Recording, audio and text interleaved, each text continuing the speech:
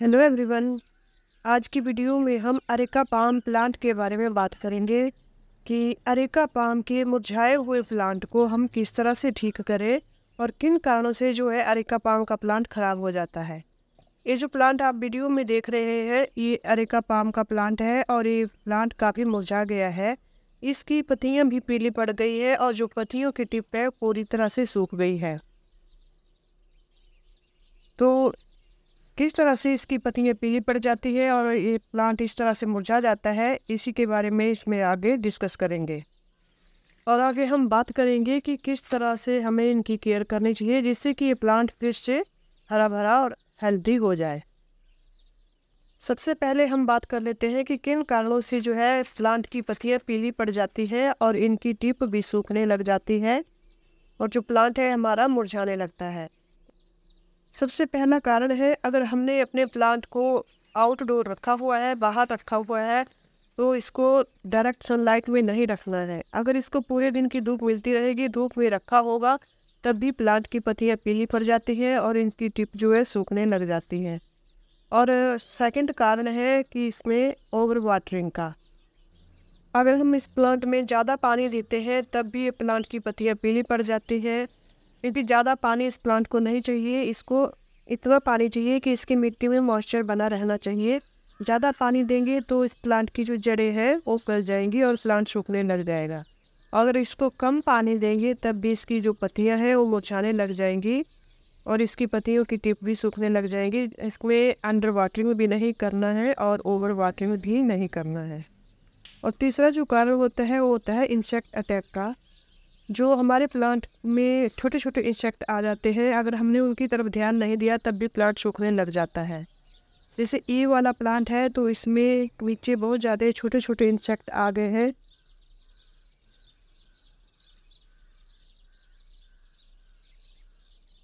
ये जो छोटे छोटे इंसेक्ट होते हैं पत्तियों के ऊपर भी आ जाते हैं और इनकी ब्रांच के ऊपर भी आ जाते हैं। तो जैसे इस पत्ती के ऊपर छोटे छोटे इंसेक्ट आए हैं तो पत्तियों का रस चूस लेते हैं और पत्तियाँ ख़राब हो जाती हैं।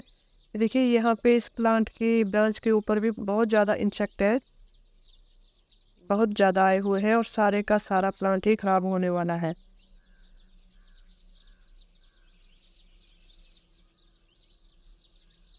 अगर इस तरह का इंसेक्ट इंसेक्ट प्लांट के ऊपर है या किसी ब्रांच के ऊपर है जैसे इन पत्तियों के ऊपर भी है तो ऐसी पत्तियों को प्लांट से निकाल देना।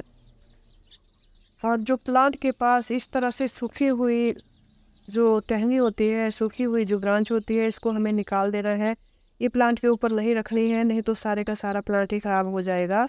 और जब भी इस तरह का इंसेक्ट अटैक प्लांट के ऊपर होता है तो हमें इंसेक्टिसाइड का स्प्रे ज़रूर करना है। इसी से जो है, हमारा प्लांट फिर से ग्रो करेगा। और इंसेक्ट भी ख़त्म हो जाएँगे। जितने भी प्लांट के पत्तियों के ऊपर इंसेक्ट हैं, उनके ऊपर स्प्रे ज़रूर करना है।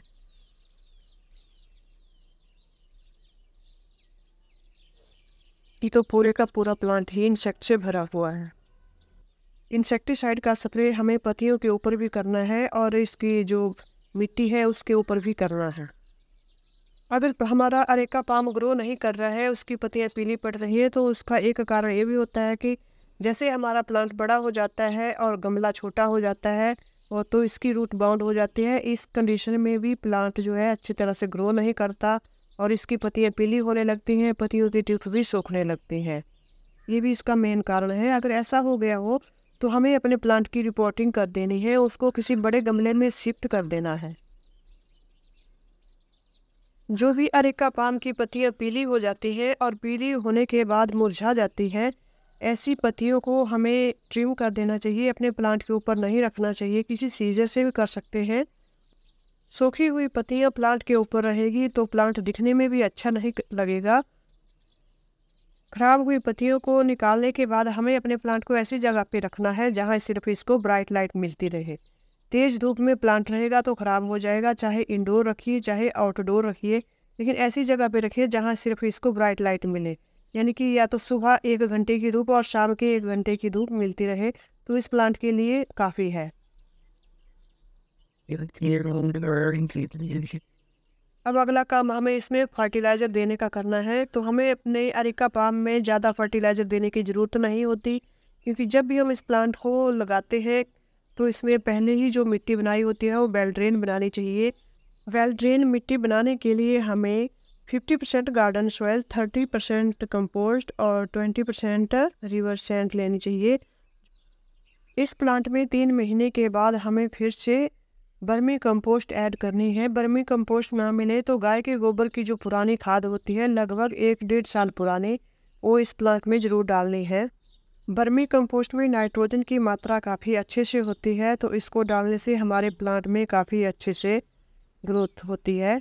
और सेकंड जो फर्टिलाइज़र इस प्लांट में डालना है, हमें वो है एप्सम सॉल्ट एप्सम सॉल्ट भी इसकी पत्तियों को लश्करीन बनाता है तो ये भी प्लांट में ज़रूर डालना है। और तीसरा जो फर्टिलाइज़र है, वो है सरसों की खली। सरसों की खली का पाउडर हमें प्लांट की जड़ों में डालना है, इससे अरेका प्लांट अच्छी तरह से ग्रो करेगा। फर्टिलाइज़र डालने के बाद हमें प्लांट में पानी डालना है कम मात्रा में। जिससे कि प्लांट की जो मिट्टी है, इसमें नमी बनी रहे, मॉइस्चर बना रहे।